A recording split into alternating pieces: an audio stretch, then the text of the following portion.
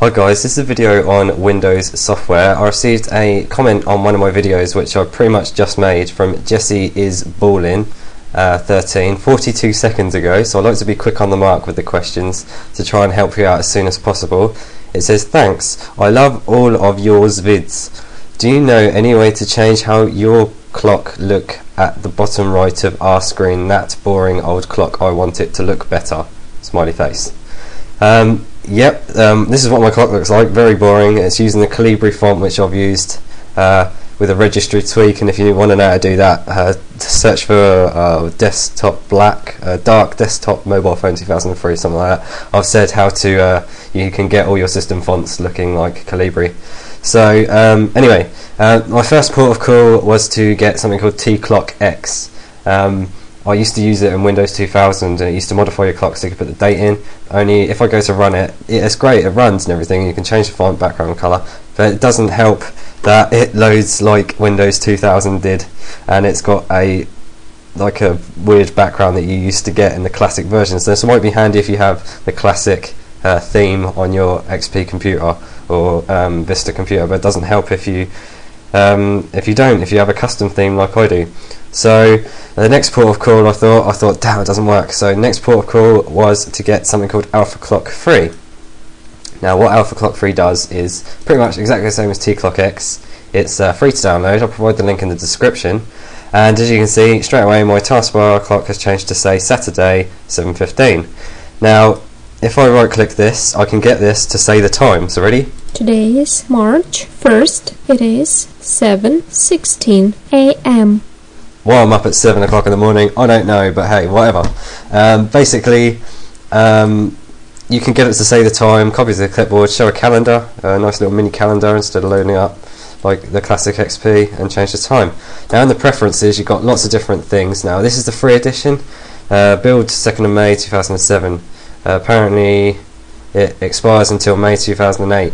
So I suppose when when it, it, expires in a couple of months, you can then download the next version to keep it free.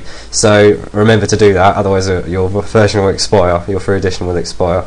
So uh, first thing we've got is this uh, button here. As you can see straight away, we've got the taskbar clock, and you notice it says Saturday and then the time in the morning. Um, you can change it to uh, basically have a format string. So it's saying date, date, date, date, uh, hour, hour, minute, minute, second, second. So you can actually have it. You can even write your own name in it. So I can say Duncan is great, and then have date, date, h, h, and it says now in my taskbar Duncan is great. Saturday, yeah. So you can change you can add any um, name you want, but if you want to start adding numbers and dates and things like that, all you have to do is click the format elements. It's got some samples here of what you can use if you want to change it. And um, so you can say default short time, default long time.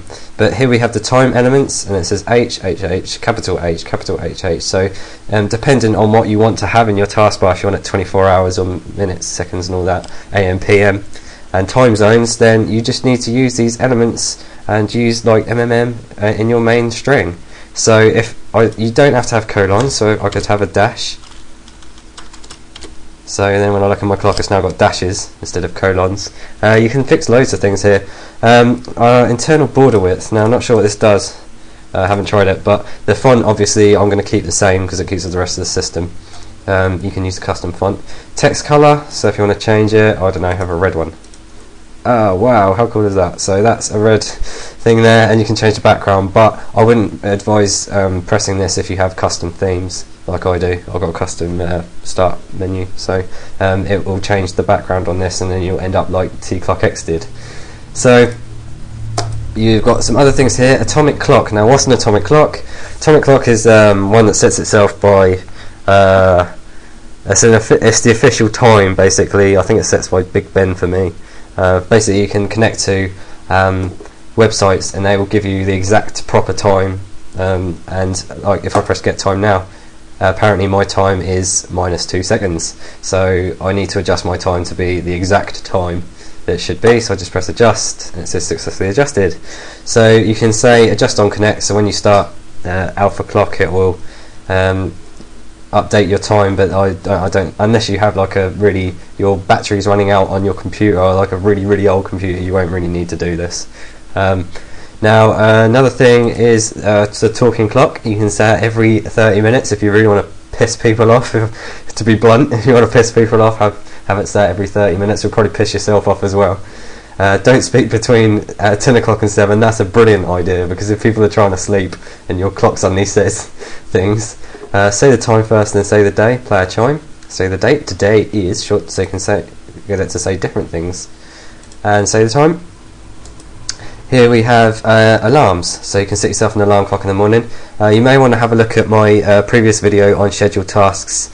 Uh, if you don't want to start using Alpha Clock and you want to have an alarm, you uh, check out one of my scheduled tasks videos. I've basically said how you can have an alarm and it will wake your computer up and do it if you ever want to do that. And last but not least is the calendar, and then you can oh various things about the calendar, the colours, fonts, and the weeks. So that's pretty much it. This is Alpha Clock. It's free to download. I'll provide the link to both in the description because someone will probably come along and say, "Well, you didn't configure TClockX properly. You can have it so it runs fine in the background, whatever." So I'll include both of them if you want to try them out. And if you know of any other ones than these, this I just stopped it looking for Alpha Clock free because um, it does everything I want it to and it works. So, thanks for watching my video. Please comment, rate, subscribe if you like my videos, and thanks again.